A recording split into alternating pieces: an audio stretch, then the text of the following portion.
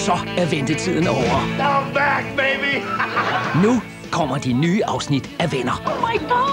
You kissed that guy! It was dark, and he was a very pretty guy. Glæd dig. Seriously, good luck marrying me. Onsdag 21.30. You guys are the best!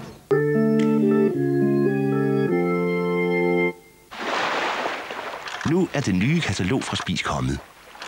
Ring og bestil det på telefon 33 48 48 33.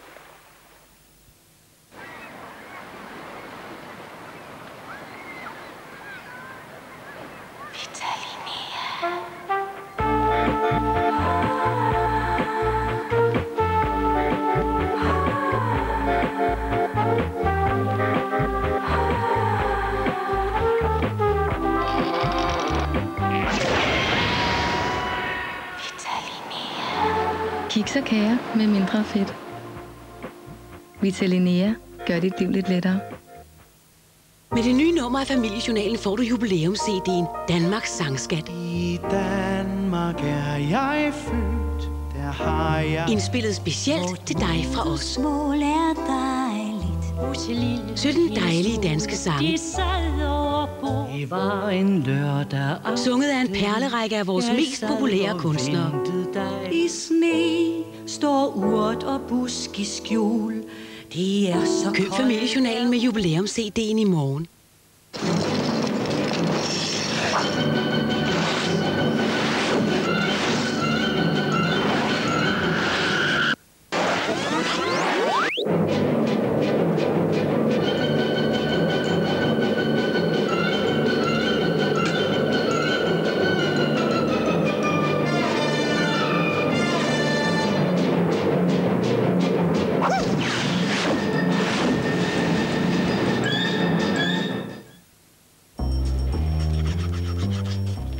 Undskyld, de måtte vente, men deres værelse er klar nu. Ja. Tag et skrabespil fra Dansk Tips Tjeneste. Et hyggeligt dobbeltværelse på tredje etage. Ja, ja. Det kan hurtigt blive en sjovere dag. Er du nu sikker på, at det var et dobbeltværelse, jeg bestilte? Hvad var? Åh, oh, nej, det, det var da Sweden. Var det ikke? Ja, var det ikke? Bogstavjagt gør ventetid til hyggetid. I kan vinde op til 600.000. Og med det nye bonusord er der ekstra chance for gevinst. Jeg tror sågar, det var Kongesviden. Bogstavjagt. Det kan hurtigt blive en sjovere dag. Fra nu af, eller i hvert fald fra i morgen, så starter vi på en frisk. Kender du Sisse? Sådan. Hvor svært kan det være, når vi bare kommer op i ordentlig tid? Man ved det hele altså. i jagten på det gode liv. Et sundt læge i en sund krop.